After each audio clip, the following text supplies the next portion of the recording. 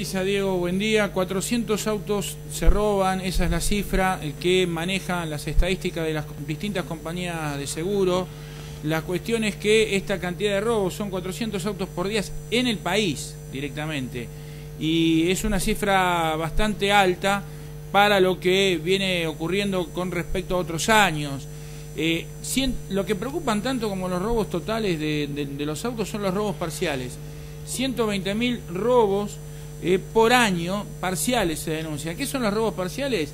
Cuando se te roban la rueda del auto, cuando te roban el techo corredizo, por ejemplo, del Peugeot 308, eh, un techo corredizo que es importado, que no se consigue, en el, que es muy difícil de conseguir en el país, y que la única forma eh, o el único lugar al que tienen para recurrir son los desarmaderos. Lo que pasa es que ese techo corredizo que es importado, eh, no tiene un, alto precio en el mercado negro, se paga mucho en el mercado negro. Y hace unas pocas semanas hablábamos que hasta se empezaban a robar los espejos retrovisores, Gustavo. También. De algunos que tienen un sistema eh, eléctrico. Exactamente, con el motorcito. Sí. Porque también son todo lo que todo lo que es importado se está robando.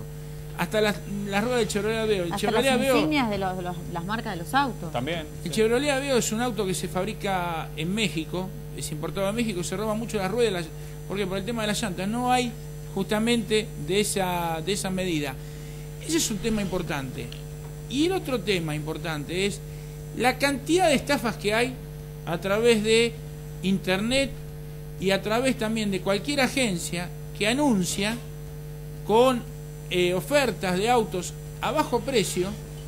Hay un viejo dicho que dice, cuando la limosna es grande hasta el santo desconfía. Acá mucha gente no desconfía y cae en ofertas tentadoras de autos. Hay mucho emponchado. El emponchado es hacer un auto eh, con documentación nueva, cambiándole también eh, no solamente el tema de la patente, se roba, mucho, se roba mucha patente, patente de que no están, patentes que, de autos que no han sido denunciados como robados, porque pues te roban la patente, es otro robo parcial también. Pero esa patente generalmente es para hacer un auto emponchado. El auto emponchado es, te hacen, te ponen un poncho y te ocultan la verdadera, eh, el verdadero número de, ese auto, la verdadera identidad de ese auto. El auto mellizo es hacerte uno con la patente igual al tuyo, directamente.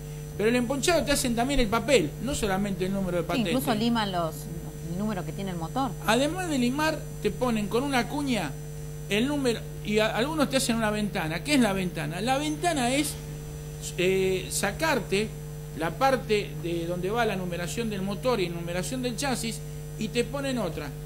Esa ventana te la hacen con una soldadura autógena.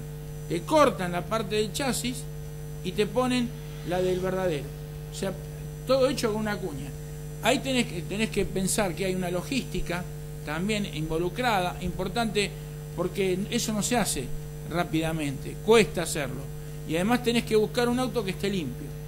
Acá hay toda una logística, pero el tema es este. Tenés el caso de una compañera nuestra del canal, a quien le habían robado las patentes y con esas patentes, más el documento, le firmaron el 08, que es el documento que se necesita, formulario verde, que se necesita para hacer la transferencia del auto, con una firma que no era la de ella. ¿Cómo se dio cuenta? No, no se dio cuenta ella. Se dio cuenta el que vendió, el, que compró ese auto, emponchado, cuando fue a hacer la verificación policial le dieron y le dijeron, no, mire señor, ve acá, tiene una ventana que le hicieron en el chasis. Este auto es robado. Este auto no es auténtico. No se sabía que a, a quién correspondía ese auto porque le habían hecho la ventana en el chasis el número de motor. Pero hay lugares donde los peritos que hacen la verificación policial saben y le dijeron, ve, este auto corresponde a esta identidad y había sido robado. Pero había comprado un auto modelo 2016 en un precio que es equivalente a pagar un modelo 2011. Gustavo, para un la modelo 2016 no se puede pagar 200 mil pesos.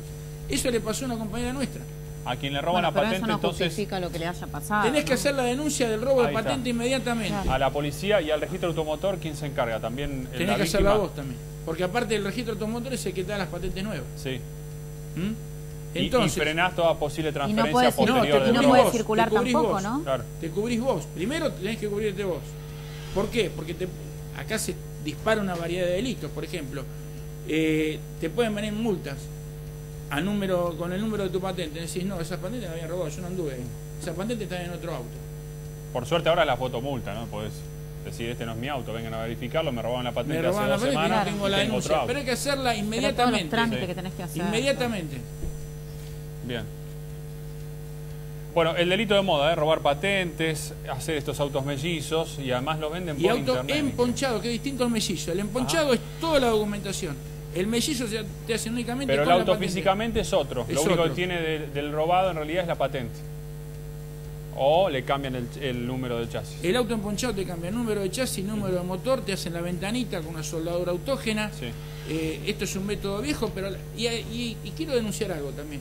Hay sitios de internet que se dedican a vender este tipo de autos. Así, porque el, que se lo compró nuestra compañera eh, llegó a, ese auto a través de internet, por una oferta de internet. Sin ir más lejos, la semana pasada Gustavo nos presentaba que en Tandil habían hecho un operativo en un desarmadero, uno de los más grandes de estos. Bueno, Mar de Plata también es una zona de desguace muy importante. Bueno, hicieron todo un operativo también con el tema de autos de alta gama que eran robados ahí por una banda digital.